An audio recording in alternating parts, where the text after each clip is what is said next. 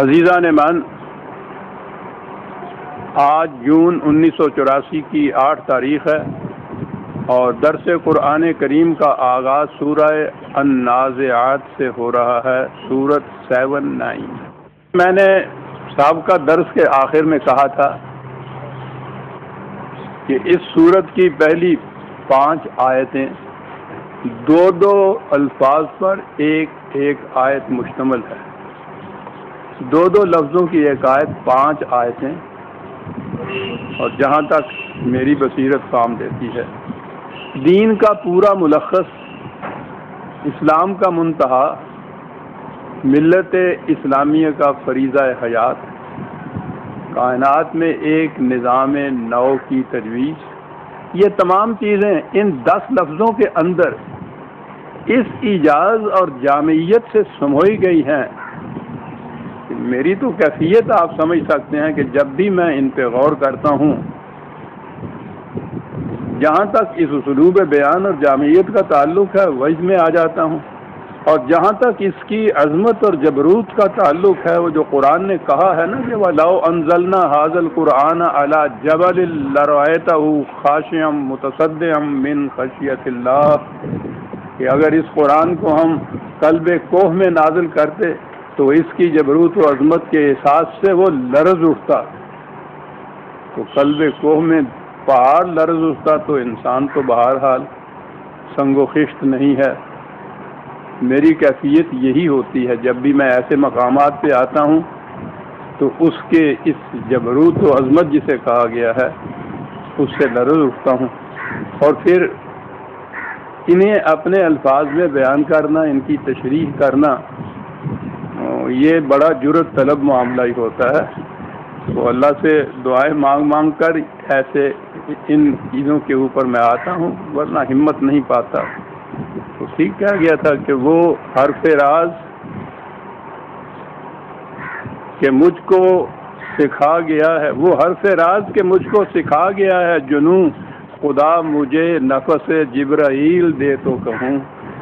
اس کے لیے نفس جبرائیل کی ضرورت ہوتی ہے۔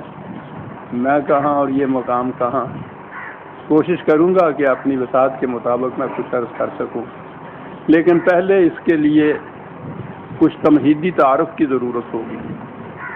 دنیا میں پہلے افراد کو لیجیے تو ہر فرد کا مقصد اگر وہ مذہب پرست ہے تو اس کا مقصد ہے اپنی نجات۔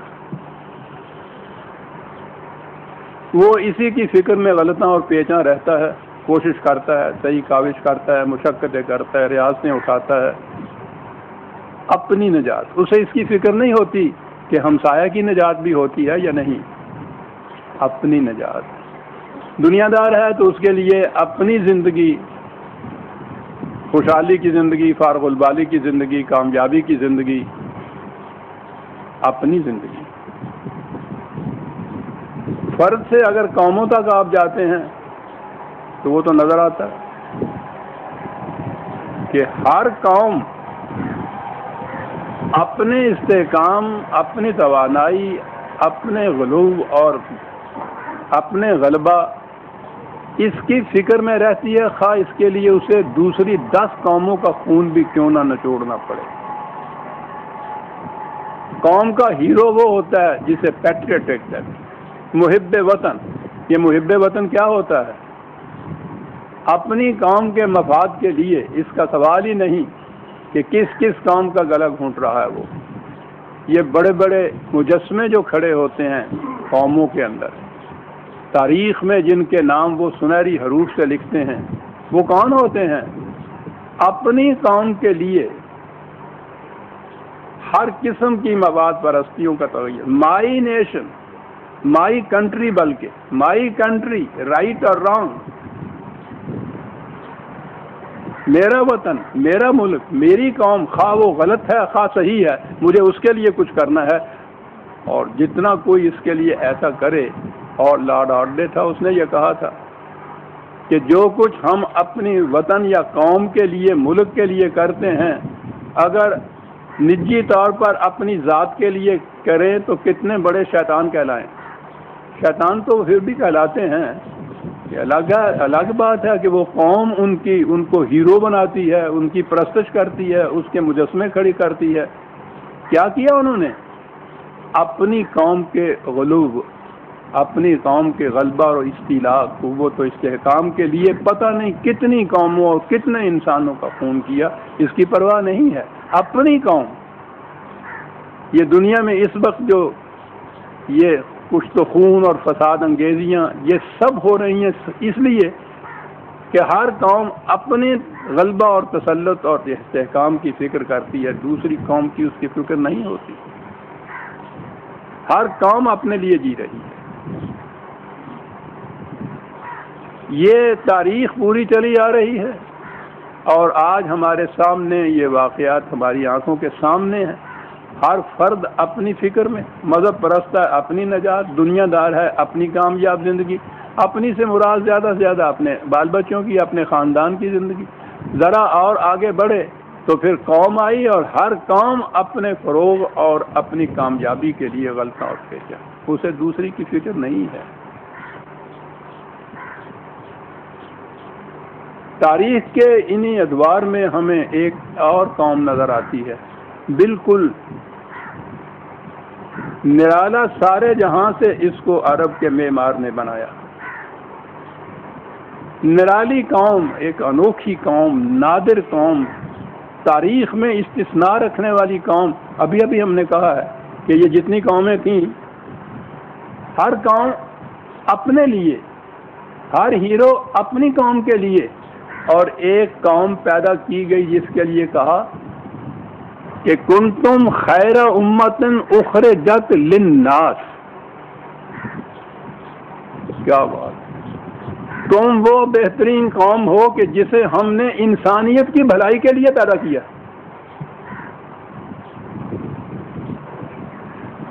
عزیزہ نے من وہ جو ہے قرآن بے مثل و بے نظیر۔ یہ مقامات ہیں جہاں نظر آتا ہے۔ پہلے دن سے جب سے انسان کی شعور نے آنکھ کھولا اور تاریخ مرغوم ہوئی، آج تک کس تاریخ میں کسی مقام پہ یہ نظر نہیں آئے گا کسی قوم سے کہا گیا کہ تمہیں ہم نے پیدا کیا تاکہ تم نو انسانی کی بھلائی کرو۔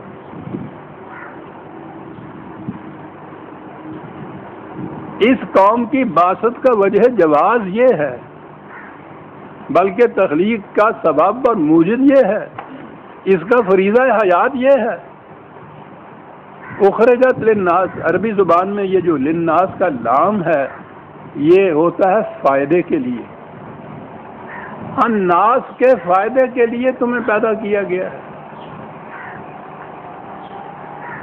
تو اب یہ دیکھ لیجیے کہ کیا کہہ گیا قرآن جہاں ایک نئی قوم پیدا کی دنیا میں اور اس کا فریضہ حیات یہ بتایا لناس نو انسانی کی بھلائی کے لیے اس کو پیدا کیا گیا۔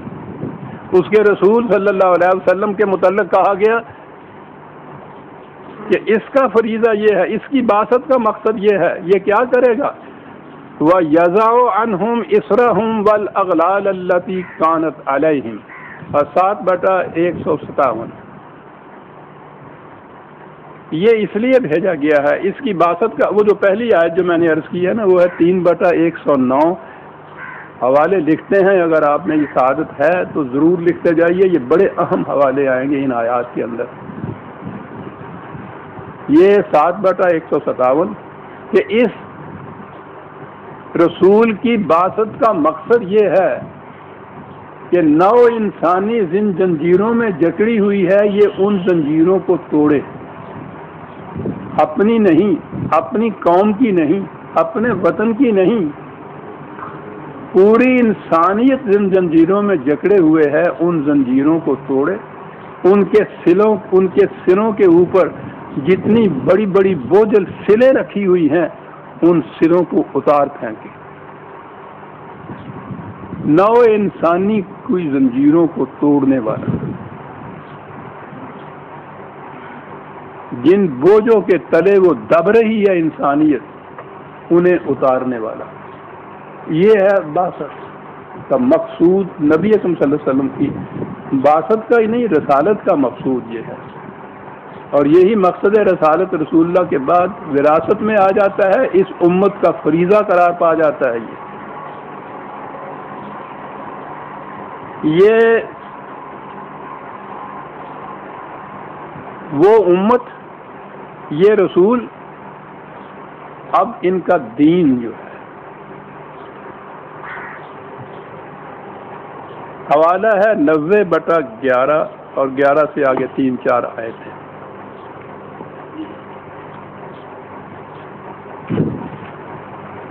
کہا کہ وہ ہدائنا نجدین انسان کو ہم نے دونوں راستے یہاں دکھا دیے، بتا دیے، نمایاں کر کے ان کے سامنے لے آئے۔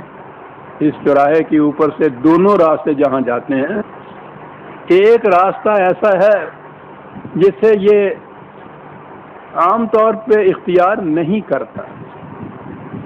الگ تحمل عقبہ تھا یہ عقبہ کے معنی ہوتے ہیں پہاڑ کی گھاٹی پہ چڑھنا۔ راستہ ہے اور وہ پہاڑ کی گھاٹی پہ چڑھنا ہے۔ بڑا دشوار گزار ہوتا ہے۔ قدم قدم چڑھا جاتا ہے۔ ہر قدم پہ سانس پھول جاتی ہے۔ تھک جاتا ہے انسان۔ کھڑا ہو جاتا ہے۔ کہتا یہ گھاٹی پہ چڑھنے کا راستہ ہے۔ وہ ماد اور آ کا مالا کا تم سوچو، پوچھو گے کہ یہ یہ کون سا راستہ ہے جو گھاٹی پہ چڑھنے کا راستہ؟ اتنا دشوار گزار راستہ بتایا۔ کہا، یہ دین کا راستہ ہے، اسلام کا راستہ ہے۔ اس قوم کا فریضہ زندگی ہے۔ ہے کیا؟ اب یہاں بھی کہ پماد کا مل اقبا تمہیں کون بتائے گا خدا کے سوا کہ یہ اقبا کیا چیز ہے جس کے متعلق ہم نے کہا ہے؟ کہ یہ بڑا دشوار گزار راستہ ہے تقاد کیا ہے؟ عزیزہ نے من غور سے سنیے گا، دو لفظ ہے فق کو رقباتن دنیا میں ہر غلام کو غلامی سے آزادی دلانا۔ دین کا مقصد۔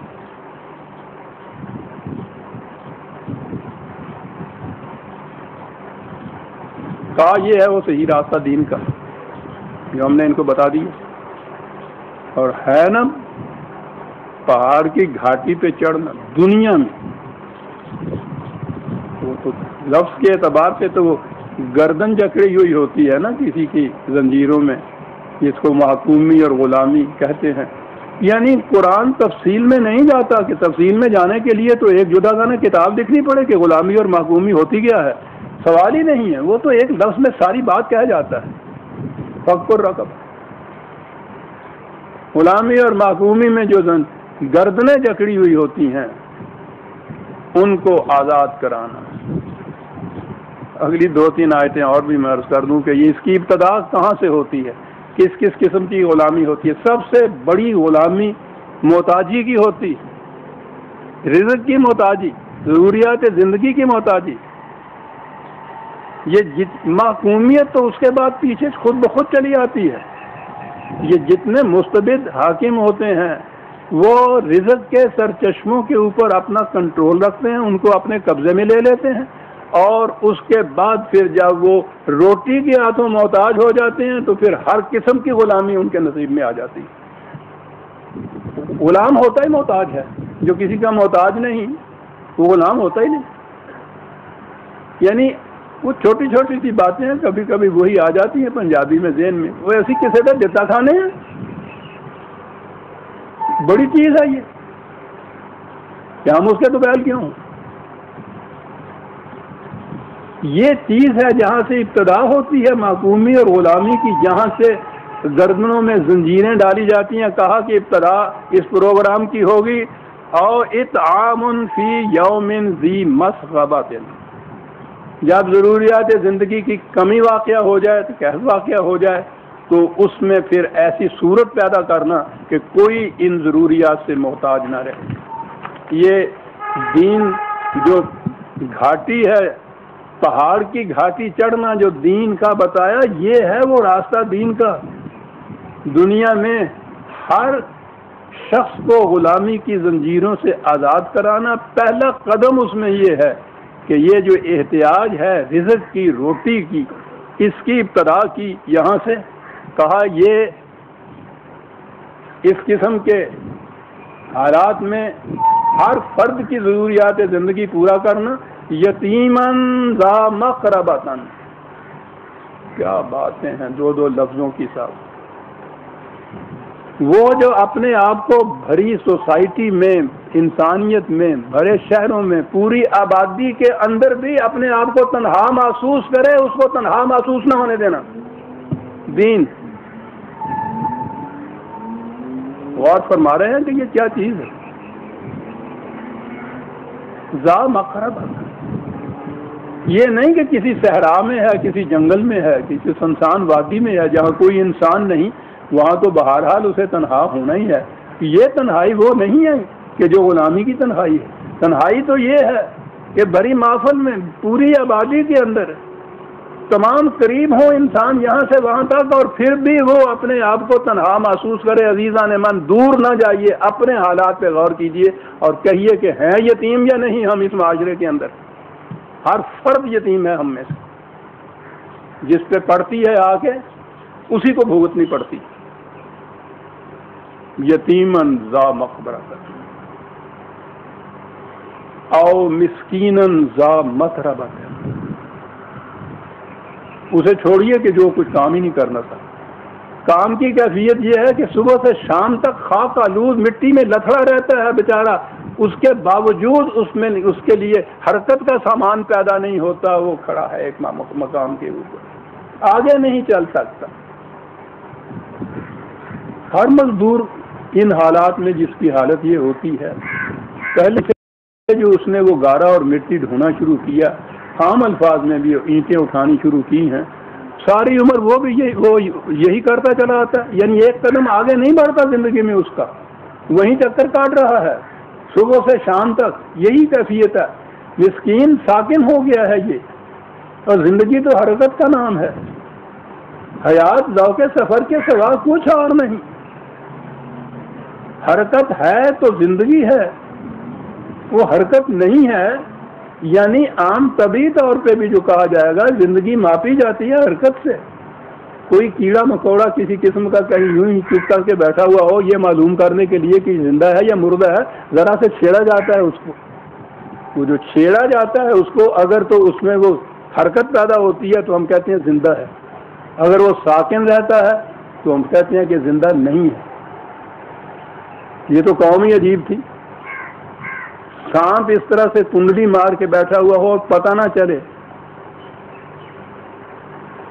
کہ یہ زندہ ہے یا مردہ ہے، تو اس کے لیے یہ ہوتا ہے نا کہ ذرا دور سے تھوڑا سا چھیڑ کے دیکھیے۔ اگر وہ یوں حرکت کرتا ہے تو زندہ ہے۔ شام کو یہ عین حیان کہتے ہیں نا۔ حیات کا لفظ یہاں سے نکلا ہے۔ حیات اور حرکت دونوں لازم و ملفوم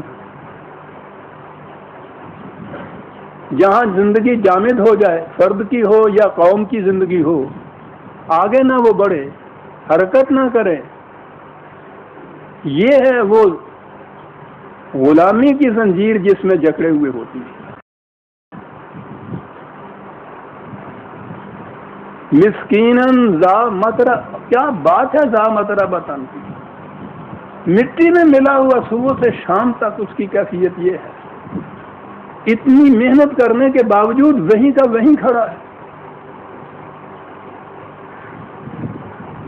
بلکہ پیچھے تو لوٹ جائے گا۔ آگے بڑھنے کی بات نہیں ہوگی۔ اب یہ آ گیا فق و رقبہ کا پہلا قدم۔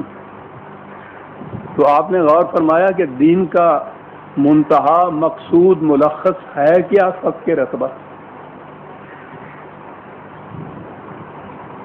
اب اس کی تفصیل میں نہیں قرآن جا رہا، اس کا ایک گوشہ صرف اس نے بتایا ہے کہ ابتدا ہوتی ہے اس رقبہ کی، اس گردن میں زنجیریں ڈالنے کی، اس محکومی اور غلامی کی رزق کو جب دوسرے اپنے قبضے میں لے لیتے ہیں۔ یہاں سے ابتدا کی جائے گی۔ اور یہ پھر پہلے قدم ہوں گے جو پہاڑ کی گھاٹی پہ چڑھنے کے لیے ہوں گے۔ یہ بتایا کہ تمہیں بتایا کہ یہ دین کیا ہے؟ یہ ہے دین دین کی ابتدا یہاں ہوتی ہے۔ فقہ رقبہ قرآن کریم میں آپ دیکھیے، یہ حکم تھا کہ دنیا میں جہاں کہیں کوئی معقوم اور غلام نظر آئے، تمہارا فریضہ یہ ہے کہ اس کی غلامی کی زنجیروں کو توڑ کر اسے آزاد کر دو۔ کیا وہ قوم آزاد لوگوں کو غلام بنائے گی؟ اور اب آپ کی تاریخ جس کو پھر آپ اسلام کی تاریخ کہہ رہے ہیں عید ملوکیت کی تاریخ، اس میں ایک ایک آپ کے سلطان کے گھر میں تین تین ہزار غلام لونڈیاں موجود مطلب نظر آتی اور اب تک یہ بحث چلی آ رہی ہے۔ آپ کو یاد ہوگا نا یہ۔ اس دور میں پھر وہ درمیان میں میں آنا پڑتا، کیا کیا جائے؟ بنتی نہیں ہے، ساگر ہم پینا چاہے بغیر۔ غلامی لونڈیوں اور غلام کے خلاف آواز اٹھائی، بھیڑوں کے چھتا چھیڑ دیا صاحب کہ یہ اسے خلاف اسلام کیا رہا ہے، اندازہ لگائیے۔ کتاب موجود ہے ابواللہ مادودی مرحوم صاحب کی، غلام اور لانڈیوں کے۔ مدافر کیے چلے جا رہے ہیں۔ غلام اور لانڈیاں اسلام کا جز ہے، وہ کہتے ہیں۔ کون اس کو ناجائز قرار دے رہا ہے؟ گالیاں تک دے دی انہوں نے۔ جرم کیا ہے؟ اس میں لکھا ہے یہ کہ ان لوگوں کا اصل میں کہتے کہتے ہیں ان کا دماغ چل گیا ہے۔ اور اس کی نشانی یہ ہے کہ یہ صرف قرآن سے قانون لانا چاہتے ہیں۔ یہ دماغ چلا ہوا، وہ ٹھیک ہے جی۔ غلامی کے جواز میں نہیں، وجوب میں لازم ہو جاتا ہے۔ آپ کی پارلیمان میں ایک مولوی صاحب نے یہ کہا تھا نا کہ زیادہ نہیں تو ایک ایک لانڈی رکھنے کی تو اجازت دی جائے آج اس دور کے اندر۔ وہ جو ملحد و بے دین کے ادارے ہیں، یہ یو این وغیرہ، انہوں نے تو اپنے چارٹر کے اندر اس کو، غلامی کو منسوخ کیا ہوا ہے۔ یہاں یہ بتا رہے ہیں کہ اسلام کا یہ فریضہ ہے غلام اور لانڈیاں رکھنا۔ انہوں نے کہا ہے کہ ہمارا اقتدار آئے گا، اسلامی نظام آئے گا، ان کے تصور کا، تو پھر تو کوئی بھی گردن آزاد نظر نہیں آئے گی۔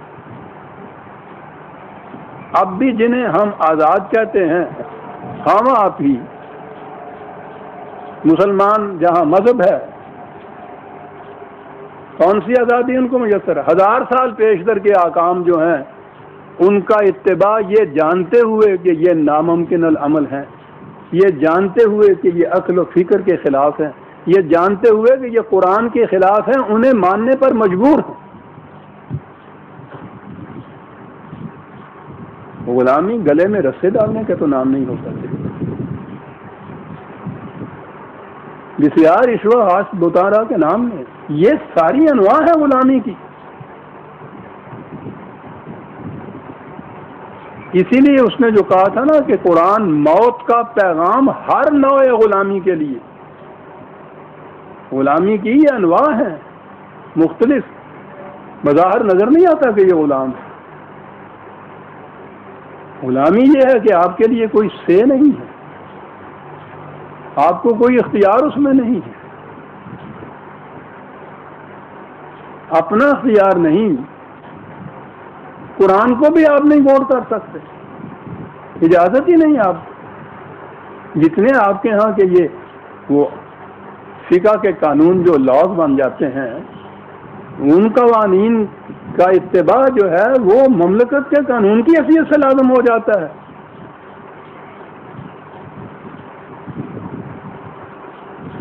فکر رقبہ میں کہہ رہا تھا کہ قرآن کریم میں لانڈری اور غلام بنانے کا تصور ہی نہیں آ سکتا۔ جو بنیاد فق رقبہ بنیاد قرار دیتا ہے دین کی، وہ یہ کہے گا کہ جاؤ دوسری قوموں کو جا کے غلام بناؤ اور ان کی عورتوں کو لانڈیاں بنا کے گھر میں رکھ کے۔ جو اس زمانے میں عربوں کے معاشرے کے اندر یہ تھے غلام اور لانڈیاں، اور اس زمانے میں ساری دنیا میں تھی۔ ان کے یہاں بھی تھی۔ آئندہ کے لیے تو اس طرح سے بند کیا اور قرآن میں آپ دیکھیے۔ ذرا ذرا سی کوتاہی پر، ذرا ذرا سے صاحب پر، تھوڑے سے خطا پر، جسے ذرا سا گناہ یا جرم کہتے ہیں، اس کی پیداش میں کیا کہتا فخت رقبہ فخت رقبہ۔ آزاد کرو غلام کو، آزاد کرو نا۔ تمہارا اپنا کوئی غلام ہے، وہ تو اسی طرح سے آزاد کرو، ورنہ جہاں بھی کہیں غلام نظر آتا ہے معاشرے میں، خرید کر اس کو آزاد کرو۔ جس قیمت پہ بھی اس کا مالک آزادی ان کو دینا چاہتا ہے، اس کو آزاد کراؤ۔ سارے قرآن میں آزاد کرو کی بات ہے سارے۔ یہاں آپ کے ہاں کا اسلام یہ ہے، ان لوگوں کا اسلام جو ہے وہ یہ ہے کہ غلام بناؤ ان کو۔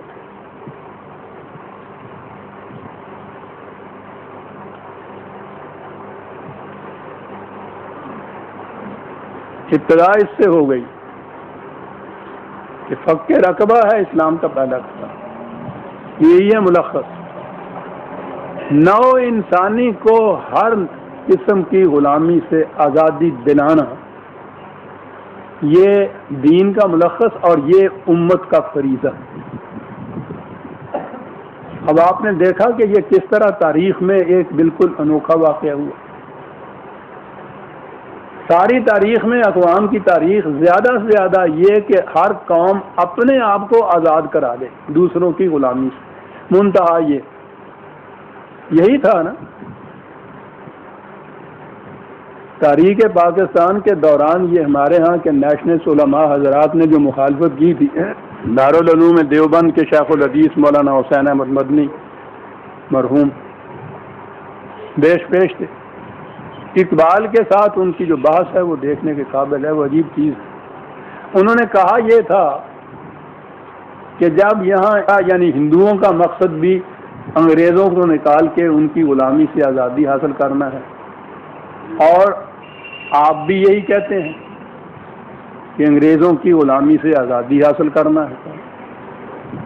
تو پھر آپ الگ کیوں یہ تاز کر رہے ہیں؟ ان کے ساتھ کیوں نہیں ملتے کانگریس والوں کے ساتھ جیسے ہم ملے ہوئے ہیں؟ تو اس کا جواب اس بالغ نظر قرآن انسان نے مومن نے دیا تھا کہ یہ ٹھیک ہے انگریزوں کی غلامی یا کسی دوسرے کی غلامی سے آزادی یہ اول قدم ہے۔ تمہارے نزدیک یہ مقصود بھی ذات ہے۔ ہمارے نزدیک ایک بلند مقصد کے حاصل کرنے کے لیے قدم اول ہے۔ ہمارے ہاں انگریز کی غلامی سے چھٹکارا حاصل کرنے کے بعد، اس کے بعد کسی انسان کی غلامی نہیں ہوگی جس مقصود کو ہم چاہتے ہیں۔ یہ ہے فرق تمہارا اور ہمارا۔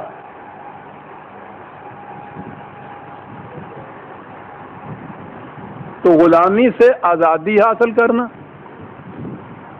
اور پھر یہ نہیں کہ خود آزاد ہو، خود ہی آزاد ہونا۔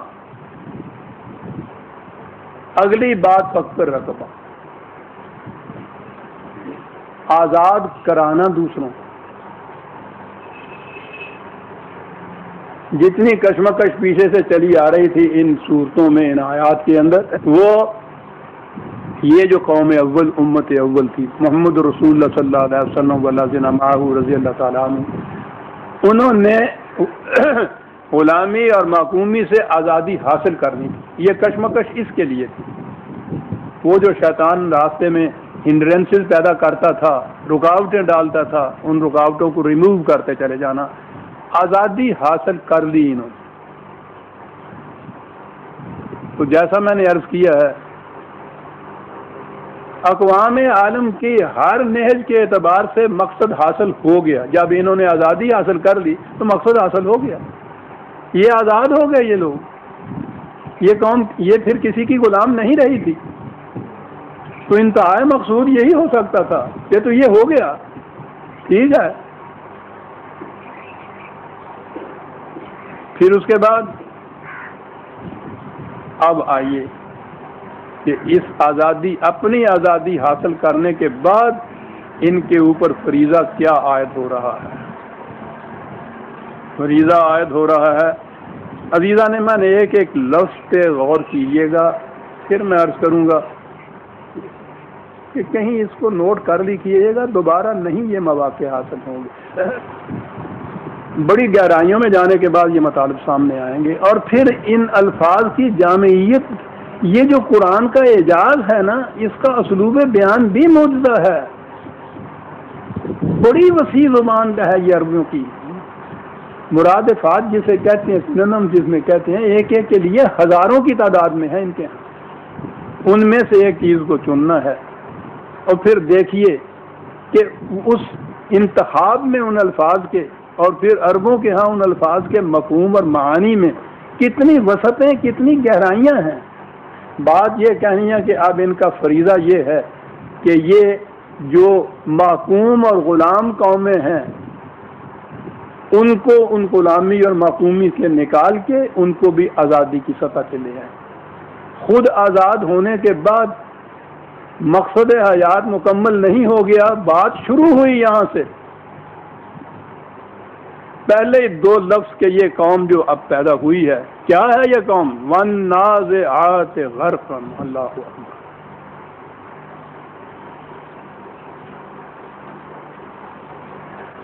کسی قوم کو محکومی غلامی کی پستی کے گڑھے میں پھینک دینا مستبد قوتوں کا یہی کام ہوتا ہے۔ پستی کا گڑھا بھی کہا جا سکتا تھا۔ خود پستی بھی ایک لفظ تھی جس میں کہا جا سکتا اور عربی میں تو پوچھے نہیں کتنے الفاظ تھے۔ پستی اور کس انداز کی پستی؟ پانی کی تہ میں کسی کو غرق کر دینا۔ کیا ہوتا ہے اس میں؟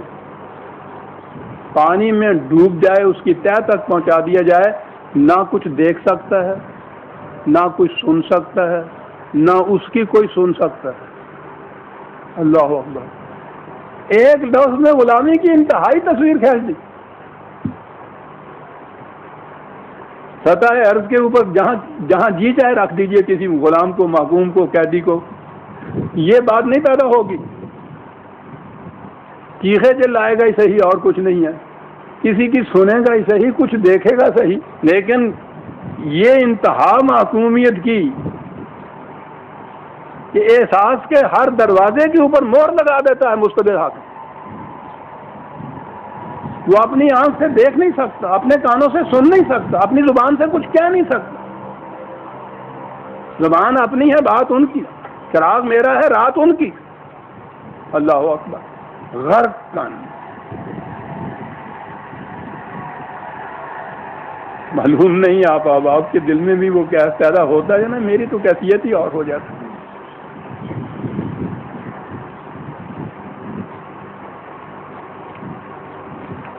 کیا جانیے کیا کہتا، کیا دیکھتا، کیا کرتا؟ زاہد کو بھی گر دیتا، مجھ جیسی خدا کیا جانیے کیا؟ دیتا تو صحیح۔ لیکن جہاں یہ کیفیت، ایک غرق کے لفظ سے سمن، بکمن، عمیون۔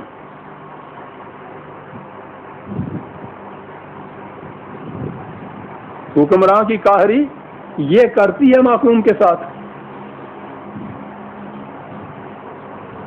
اب جسے اس طرح سے پانی کی تہ میں ڈبو دیا ہو کہ وہاں وہ نہ کسی کی سن سکے، نہ کسی اس کو کچھ سنا سکے، نہ کچھ دیکھ سکے۔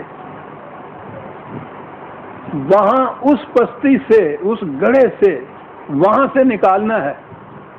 اب دیکھیے اس نکالنے کے لیے کیا کرنا پڑتا ایک تو خود یہ حکمران اور حاکم جن کے یہ محکوم اور غلام اور قیدی ہیں، ایک تو ان کا استبداد ہوگا کہ یہی نہیں نکالنے دیں گے ان کو۔ سب سے مزاحمت تو ان کی ہوگی نا، نکال نہیں دے گے۔ اس سے بھی زیادہ مشکل ہو رہی ہے کہ یہ غلام اور محکوم بھی خوئے غلامی میں جب پختہ ہو جاتا ہے تو وہ بھی نہیں نکلنا چاہتا۔ نئے تیر کما میں ہے، نہ سیاد کمی میں۔ گوشے میں کفس کے مجھے آرام بہت ہے۔ اس پرندے کو آپ آزاد کر ہی نہیں سکتے۔ وہ میں کہا کرتا ہوں، یہاں آپ نہیں نظر آ جاتے، آتے۔ تقسیم سے پہلے ہندو ہوتے تھے، یہاں تو ان کے ہاں عام طور پہ وہ چکور یا اس قسم کے تیتر پنجرے میں وہ ڈالتے تھے۔ صبح سیر کے لیے نکلتے تھے۔ پنجرا ہاتھ میں ہوتا تھا، وہ چکور یا تیتر جو اس میں بند تھا، اس کو باہر آزاد کر دیتے تھے۔ پیچھے پیچھے ہوتا تھا وہ۔ جاتے تھے جنگل میں۔ جنگل کے آزاد پرندے انہی جیسے ان کو آوازیں دے رہے ہوتے تھے کہ تمہیں کیا ہو رہا ہے، کہاں جا رہے ہو؟ یہ ہے تمہارا مقام، دیکھو تو صحیح ہم کہاں جا رہا ہے۔ یہ سنتے تھے اور اس پنجرے کے پیچھے پیچھے بھاگتے تھے۔ کھڑا ہوتا تھا تو پنجرے کے اوپر بیٹھ چڑھ جاتے تھے۔ چونچوں سے مار مار کے اس کے دروازے کو کھولتے تھے۔ آزاد پر بھی موجود ہیں، آزاد بھی ہیں۔ دوسرے آزاد پرندوں کو ان کی آوازیں سن رہے ہیں۔ کیفیت یہ ہے کہ اس پنجرے کے پیچھے چلے جاتے ہیں۔ جب ایسی حالت ہو جاتی ہے غلام کی، محکوم کی وہ کہا اقبال نے کہ خواجگی میں کوئی مشکل نہیں رہتی، باقی پختہ ہو جاتے ہیں جب کوئے غلامی میں غلام۔ پھر تو شاید خود سے یاد رہا گوئے بغیر خود شکاری جان، پرندہ جو ہے وہ کھڑا ہو کے کہتا ہے شکاری کو کہ آپ مجھے پکڑ دے۔ پختہ ہو جاتے ہیں جب کوئے غلامی میں غلام۔ اگلے لفظ پر آنے سے پیشتر میں یہ ساری تمہید، یہ مفہوم سمجھ میں جا آئے گا۔ جب یہ ذہن میں آ جائے کہ یہ ایک تو وہ جو محکوم غرق ہوا ہوا ہے پانی کے اندر، اس کی کیفیت کیا ہے؟ آواز باقی نہیں ہے۔ سوچنے، سمجھنے کے دروازے بند ہو چکے ہوئے ہیں، سب۔ پھر اگلی چیز یہ ہے کہ یہ جو جن کے یہ غلام محکوم ہیں، ایک تو ان کا استبداد اور دباؤ ہر قسم کی تدبیر وہ کرتا ہے کہ یہ آزاد نہ ہونے پائیں، کوئی ان کو آزاد نہ کرنے پائے۔ ان کی اور اگر ان کا مقابلہ کر بھی لیا آزاد کرانے والوں نے، تو خود ان کی ہوئے غلامی یہ نکلنا ہی نہیں چاہتے وہاں سے۔ اب کہیے کہ اس قسم کا جو ڈوبا ہوا ہو، اس کو نکالنا ہے۔ کیا لفظ ہے؟ نازیات۔ کسی کو بالوں سے پکڑ کے گھسیٹ کے اوپر لے کے چلے جاتے نازیات۔ کیا الفاظ ہے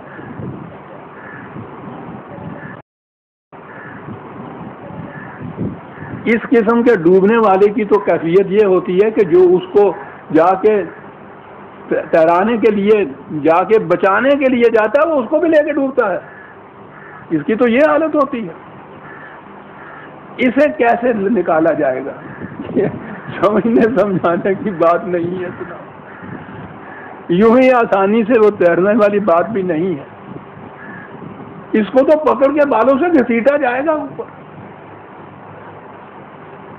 یہ معقوم قومیں جن کو مستبد حاکموں کے استبداد نے اس مقام پہ پہنچا دیا۔ اس امت کا یہ فریضہ ہے ان قوموں کو کھینچ کے پیٹ کے اوپر لانا۔ پہلے تو وہ سطح آپ پہ لے آنا، اپنے برابر کرنا۔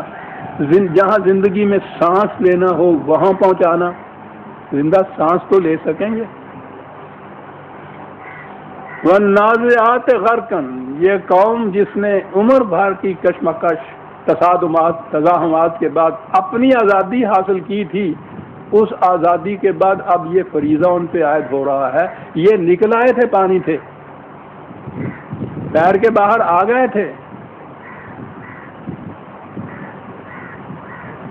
ساحل پہ کھڑے ہوئے ہی تھے کو یہ حکم دیا کہ بہت جو ڈوبے ہوئے نیچے ہیں، تمہیں ان کو بھی بچانا ہے، نکالنا ہے وہاں سے۔ اب یہ ان کے نکالنے کی فکر کر رہے ہیں۔ یہ جتنی بھی کہتے ہیں نا، صدر اول میں یہ مسلمانوں کی جنگیں اسلام کی جنگیں اور پھر ہمارے ہاں والے کہتے ہیں کہ اسلام بذریعہ شمشیر پھیلا۔ یہ جنگیں جو تھیں، یہ اسے کہتے ہیں اسلام پھیلایا، اسلام پھیلانے والی بات نہیں تھی۔ خود ساحل پہ آنے کے بعد یہ جو سطح سمندر کے نیچے ڈوبے ہوئی معقوم قومیں تھیں، ان کو وہاں سے نکالنا تھا۔ اس نکالنے کے لیے یہ جو مستبد قومیں تھیں، سلطنتیں تھیں، ملوکیتیں تھیں، کیسر و کس طرح تھے اس دور کے۔ ان کے ساتھ پھر یہ جنگیں لڑنی پڑی ان کو آزاد کرانے کے لیے ان کی معقوم قوموں کو آزاد کرانے کے لیے۔ اور اس کا رخم طیب تو نبی اکم صلی اللہ علیہ وسلم نے اپنی زندگی میں، مدینے کی زندگی میں وہ جو ابھی میرا خیال ہے کہ پہلی جنگ بدر بھی شاید لڑ رہی تھی، یہ اس کے بعد کی بات ہے، جو خطوط لکھے تھے کیسر اور کسرا۔ اندازہ لگائیے کیسر اور کسرا۔ ذرہ نا چیز ہوتا میرے بیابانے نگر۔ انہیں خط لکھا جا رہا ہے۔ کہا یہ جا رہا ہے کہ تمہارے ہاں کے مزدوروں اور مظاہرے اور کاشتکاروں پہ جو ظلم ہو رہے ہیں، انہیں تم روک دو تو اچھا ہے، ورنہ تمہارے ہاتھ ہمیں روک دینے پڑیں گے۔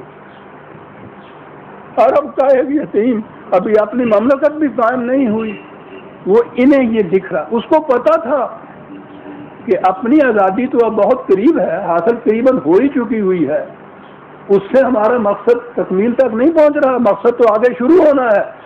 دائیں بائیں یہی دو سلطنتیں، یہی دو تہذیبیں بلکہ دنیا میں سب سے بڑی تہذیبیں اور مملکتیں یہی تھی۔ انہیں یہ چٹھی لکھی جا رہی۔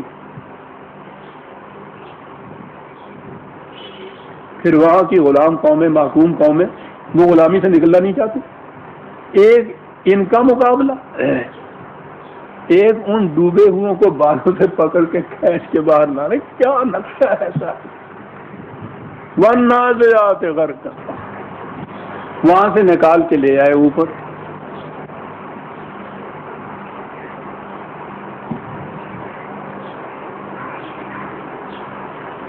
کیا یہ مقصد پورا ہو گیا؟ جی نہیں صاحب۔ صدیوں کی غرقابی کے بعد حکومیت کے بعد اب یہ آزادی کی فضا میں سانس لینے کے قابل صرف ہوئے۔ اب انہیں آزادی سے لذت آشنا کرنا۔ اگلے دو لفظ ہیں عزیزہ نے من۔ آزادی کی ایسی ڈیفینیشن اس میں ہو گئی ہے۔ دنیا کی تاریخ میں اس کی مثال نہیں ہے دو لفظوں میں۔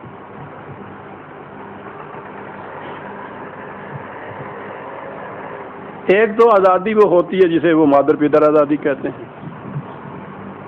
یہ جتنی قومیں دنیا میں جنہوں نے اپنے اوپر کوئی اور پابندیاں عائد نہیں کر رکھی ہیں۔ وہ آزاد ہیں۔ نا جو جی چاہے فیصلے کریں۔ جس کا جی چاہے گلا کاٹ لیں۔ جس کو جی چاہے لوٹ لیں۔ اپنی قوم کے مفاد کی بات یہ کچھ کر کریں۔ کوئی پابندی کسی قسم کی نہیں۔ آزادی اسی کا نام ہے۔ لیکن ایک اور بھی آزادی ہے۔ آزادی کسی اصول کی حدود کے اندر رہتے ہوئے ناقابل تغیر اقدار کی پابندیاں ہوئے آزادی۔ اب دیکھیے سمجھایا کیسے جا رہا ہے۔ یہ آسمان کے تارے جو یعنی ہم کہتے ہیں ان میں کچھ تو ستارے ہوتے ہیں۔ زمین جنبت نہ جنبت گل محمد جسے کہتے ہیں، وہ قطب تارا ہوتا ہے نا۔ اپنی جگہ سے ہلتے نہیں ہیں وہ۔ اپنے مقام کے اوپر کھڑے ہوتے ہیں۔ وہیں وہ گھومتے ہیں، لیکن وہ آگے جانے کی حرکت نہیں ان میں ہوتی انہیں ستارے ہمارے ہاں کہتے ہیں۔ اور ایک سیارے ہوتے ہیں، وہ پھر حرکت کر کے چلتے بھی ہیں۔ تو یہ چلنا جو ہے حرکت کے ساتھ یہ آزادی ہے۔ لیکن یہ ستارہ جو حرکت کرتا ہے، وہ تمام قوانین کی پابندی کرتا ہے کیا؟ جو فضا میں اس کے اوپر عائد کی گئی ہیں۔ ان پابندیوں کے اندر رہتے ہوئے یہ حرکت کرتا ہے، یہ آزادی ہے جس کو صحیح معنی میں قرآن کی روح سے آزادی کہا جا رہا جاتا ہے کہ انسان کو پورا اختیار اور ارادہ حاصل ہو، بشرطے کہ وہ قرآن کی عائد کردہ، خدا کی عائد کردہ پابندیوں یا اقدار کی حدود کے اندر رہے۔ اب اس کے لیے سمجھایا گیا ہے، اس ستارے سے جو آزاد ہوتا ہے نقل و حرکت میں، لیکن پابند ہوتا ہے ان قوانین کا جو خدا کی طرف سے اس پہ عائد کیے گئے ہیں۔ اس کو کہتے ہیں نشاط۔ اس کو کہتے ہیں خوشی۔ خوشی کیا خوشی ہے پوری آزادی اقدار کی پابندیوں کے ساتھ۔ اس کا نام ہے نشاط۔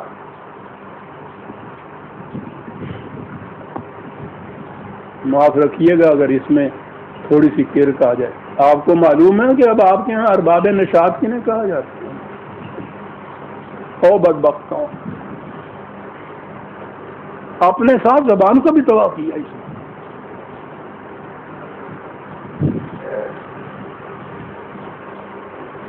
شمشیروں نا افسنا اول اور تاؤس و رباب آخر۔ نشاط یہ تھا۔ ویزا نے من آزادی کی ایسی ڈیفینیشن کہیں نہیں مل سکتی۔ بہرحال، آپ کے اس گار نے بھی کچھ مطالعہ تو کیا ہی ہوا نا ان میدانوں کا۔ عمر گزر گئی اس کے اندر، کہیں یہ نہیں اور یہ نشاط یا سرور یا صحیح خوشی جو ہے مسرت جو ہے، اس کی یہ ڈیفینیشن کہیں نہیں ملتی کہ آزادی ہو کسی پابندی کے ساتھ۔ اور ان اقدار کی پابندی خود اپنے اوپر عائد کی ہو، کسی اور نے عائد نہ کی ہو۔ اقدار تو وہ ہوں، پابندی یہ خود عائد کرے۔ ان کے اندر رہتے ہوئے کامل آزادی حاصل ہو۔ اسے آزادی کہا ہے اور اس قسم کی آزادی حاصل ہو جانے کا نام نشاط یا مسرت یا خوشی یا سرور یا کیس ہے۔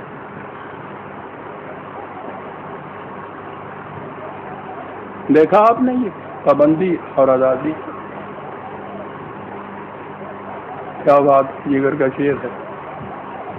غزل کا بڑا حسین شعر۔ مجھ کو اپنا بنا کے چھوڑ دیا۔ کیا اسیری ہے، کیا رہائی مومن کو یہ آزادی ملتی ہے، مجھ کو اپنا بنا کے چھوڑ دیا۔ کیا اسیری ہے؟ بڑا خوبصورت، کیا رہائی ہے۔ ون ناش نشتن ان کو محکومیت کی، غرقابی کی تہوں سے کھینچ کے نکال کے اوپر لے آنا۔ اور پھر انہیں اس قابل بنا دینا کہ انہیں آزادی حاصل ہو، لیکن اقدار خدا بندی کی پابندیوں کے ساتھ۔ یہ سب کچھ کرنے کے بعد اب وہ جو غرکن کا لفظ آیا تھا نا، پانی کا، اسی جہد سے آگے ہے کہ پھر ان کی توانائیاں اتنی ہوں کہ وہ زندگی کے ہر میدان کے اندر اس طرح سے تیرتے ہوئے جائیں جیسے وہ وہ وہ تیراکی جس میں پورے بازو مار کے تیرا جاتا ہے۔ گھوڑا جس طرح پورا سرپٹ چلتا ہے یعنی پوری توانائی اور وسط کے ساتھ سرگرم عمل رہنا جو ہے، اس کے لیے یہ لفظ سبھا یا تصبیح کا لفظ یہاں سے ہے۔ اور تصویریں جہاں پھیریاں جاندیاں نے ہوں۔ یہ یہاں کے لفظ۔ ان کو اس قابل بنا دینا، وہ غرکن کیا بات ہے اس ادب کی؟ غرکن پانی کی تلمیز سے صابحات لائے یہاں۔ کہ اب اسی دریا میں جہاں یہ تہ میں غرق ہوئے ہوئے تھے اور یوں نکلے تھے، اب اس کی سطح کے اوپر یوں تیرتے ہوئے چلے جا رہے ہیں سب کے جس کا نظارہ نہیں۔ کوئی چیز راستے میں حائل نہیں ہو رہی۔ کوئی موج، کوئی طوفان کو کافی سوال ہی نہیں ہے، تیرتے ہوئے۔ صاحب ہاتھ ہے سب پوری گرم جوشی کے ساتھ پورا ہاتھ مار کر۔ کوئی راستے میں رکاوٹ نہیں ہے، کوئی انفلوئنس نہیں ہے، کوئی شیطان نہیں ہے سب۔ اس طرح چلے جا رہے ہیں۔ اور جاتے ہوئے یہی نہیں ہے کہ باقیوں سے پیچھے رہنا تو ایک طرف، مومن تو پیچھے رہ ہی نہیں سکتا۔ مومن بالا ہے ہر بالا ترے۔ اس لیے کہ غیرت او برنا تابت ہمسرے یہ کہ کوئی اس سے آگے چلا جائے مومن اس کا تو تصور بھی نہیں کر سکتا اس کی غیرت اس کو بھی برداشت نہیں کرتا ہی کہ اس کے ساتھ ساتھ کوئی چلے اس سے۔ اس لیے کہا کہ یہ یوں ان میدانوں کے اندر پھر چلے جائے۔ وہ سابقات سب فن آگے بڑھنے والے، آگے بڑھنے والے، آگے بڑھنے والے۔ غور فرما رہے ہیں دو دو لفظوں کو۔ دیکھ رہے ہیں کہ کیا وہ اسلام کا مقصود اس قوم کی فریضہ حیات، نظام زندگی، آزادی اور غلامی کس طرح سے تشریح اس کی دو دو لفظوں میں ہوتی چلی جا رہی ہے؟ بس سابقات ہے سب۔ آگے بڑھنے والے۔ آلاؤن قرآن نے کہا ہے مومن، انتم العلاؤن وہ تو سیگا ہی ایسا ہے کہ جس سے آگے کوئی اور آلہ ہو ہی نہیں سکتا۔ ان بلندیوں کے اوپر یہ ہوتا ہے۔ اس لیے یعنی آپ قدم پہ قدم دیکھیے۔ غرق ہوئے ہوئے پانی کی تہ سے ایسی صورت کہ خود وہ نکل ہی نہیں سکتے، نکلنا چاہتے بھی نہیں ہیں، وہاں سے نکالا جاتا ہے ان کو۔ ان پستیوں سے ان محکوم قوموں کو نکال کے اوپر لائے۔ صدر اول کی یہ تاریخ ہے کہ کاش کہیں یہ تاریخ مرتب ہو جائے تو۔ یہ خود ہی تیر کے باہر نہیں آئے تھے۔ جنہوں نے ان ڈوبے ہوئے کو بھی ترایا تھا لائے تھے کھینچ کے ان قوموں کو۔ صدر اول کی، ہمارے ہاں کی جو تگوتاز ہے، صدر اول کے اثاکر کی بھی، فوجوں کی بھی، اس جواب کی بھی، وہ اس مقصد کے لیے تھی، لائے تھے نکال کے۔ تاریخ بتایا کہ کس کس قوم کو کس کس غرقابی کی تہ سے کھینچ کے نکال کے لائے تھے۔ پھر ان کو کس طرح سے وہ آزادی دی تھی جسے سہیما نے قرآن نشاد آور آزادی کہتا ہے۔ پابندی کے ساتھ آزادی۔ پھر کتنی توانائیاں ان کے اندر بھر گئی تھی کہ وہ اسی اسی بحر ذخار کے اندر تیرتے ہوئے چلے جاتے تھے سب۔ اس تیراکی میں کہ کوئی ان کا ساتھ ان کے برابر نہیں آ سکتا تھا۔ آگے بڑھنا تو ایک طرف رہا۔ وہاں تک چلے جا رہے تھے۔ اور اس کے بعد یہ کہا کہ ملخص اس کا کیا ہے؟ یہ سب کچھ جو ہم نے اشاروں میں سمجھایا۔ بات کیا ہوئی؟ المدبرات امرن اپنے معاملات کی تدبیر آپ کرتے تھے۔ واہ واہ واہ۔ اب صحیح فرما روائی، صحیح آزادی، صحیح حاکمیت، وہ آ گئی مقصد یہ۔ یہ وہ جو اپنے معاملات کے کا حل آپ دریافت کرتے تھے، انہیں خود طے کرتے تھے۔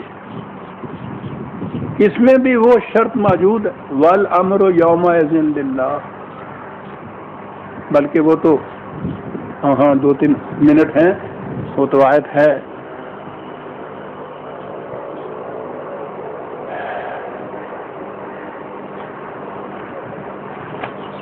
امر یوم غالباً ایٹی ٹو، بیاسی۔ ہاں جی۔ مالک یوم الدین نماز کی ہر رقم میں سورہ فاتحہ پڑھتے ہیں، اس میں یہ آتا ہے۔ الدین کے دور کا مالک۔ کہا کہ مہادرا کا ماں جام الدین۔ کہتے تو رہتی ہو صبح سے شام تک۔ گن گن لیا جائے اگر ان رکتوں تو میرا خیال ہے قریباً چوالیس مرتبہ آ جاتا ہے۔ کہتے ہو مالک یوم کہتے ہو؟ تم کہتے تو رہتے ہو۔ مہادرا کا ماں کوئی پتہ نہیں ہے۔ یوم الدین ہوتا کیا ہے؟ کیا انداز سمجھانے کا سما ماں درا کا ماں یوم الدین، پھر میں ہم پوچھتے ہیں تم سے بھائی، ایک بار اور۔ یہ کچھ معلوم بھی ہے؟ کیا ہے؟ تمہیں نہیں معلوم۔ ہم تمہیں بتاتے ہیں۔ یہ دور، یہ زمانہ، یہ معاشرہ، یہ نظام، یہ وہ ہوگا یوم لا تم لے کو نفس لے نفس کوئی فرد کسی دوسرے کا دوبیل نہیں ہوگا یوم الدین۔